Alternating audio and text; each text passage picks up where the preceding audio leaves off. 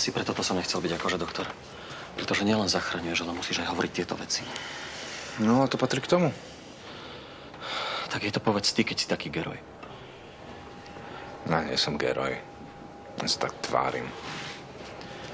Presne v takýchto chvíľach som rád, že jej to nemusím povedať ja. No, nebuď sraba potom som. Ale ja som srab. A nebojím sa to priznať.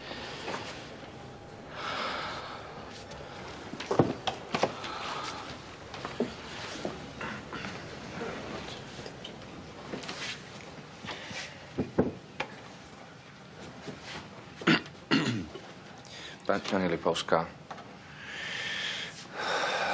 život prináša rôzne situácie. Niektoré šťastné, radostné, niektoré menej šťastné. Lebo, lebo taký je život. A bohužiaľ ja som sa dozvedel tú veľmi nepríjemnú správu. Počkajte, vy mi chcete povedať, že... že môj muž... Pani Lipovská, váš muž utrpel zranenia nezlučiteľné so životom.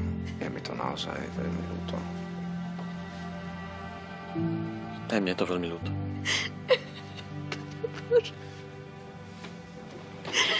On nikdy neuvidí nášho syna. Pani Lipovská. Pani Lipovská, veri, veríte na Boha a na nebo? Lebo ak áno, tak, tak viete, že Čo?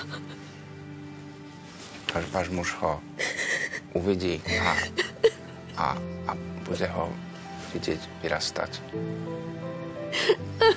Máte tu, máte tu kúsok z neho. Musím